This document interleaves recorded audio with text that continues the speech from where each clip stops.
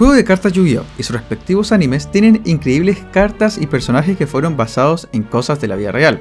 Así es, tanto las cartas monstruos, magias y trampas están inspiradas en el folclore japonés, en la mitología internacional y en la historia mundial. Su buen amigo Roger le mostrará algunos de los ejemplos más emblemáticos de cartas basadas en personas reales. Empezaremos esta lista con un clásico para todos, con la carta Tyler de Great Warrior, la cual ya hemos hablado con más detalles en su propio video en este canal. Esta carta fue inspirada en un sobreviviente de cáncer, Tyler Grizzly, que con solo 14 años fue diagnosticado con una rara enfermedad, en la cual perdió un 25% de su intestino. Este valiente soldado, después de una ardua lucha, logró vencer esta terrible enfermedad y la fundación Mecha Witch de recompensa le dio el deseo de crear su propia carta lluvia la famosísima Tyler de Great Warrior, diseñada y basada en este noble guerrero.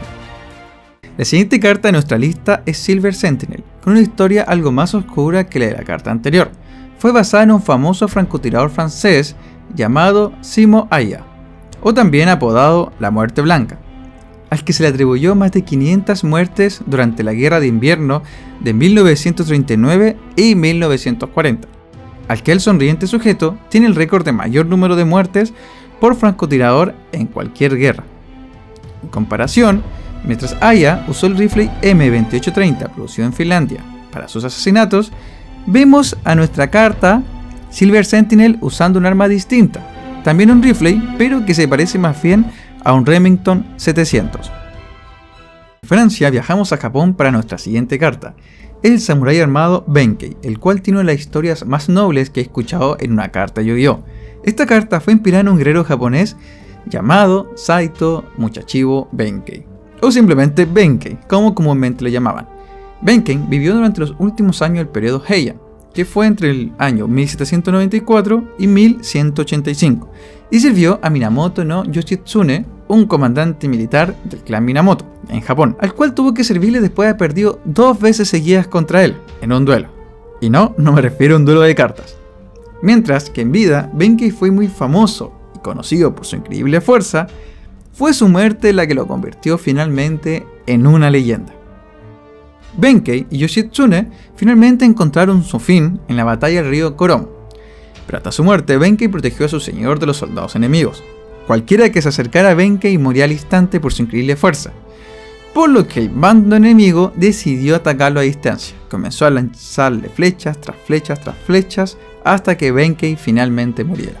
Después de que la batalla terminara, el cuerpo lleno de flechas en todas partes fue encontrado y para sorpresa de muchos, el cuerpo de Benkei aún seguía en pie, a pesar de que estaba muerto.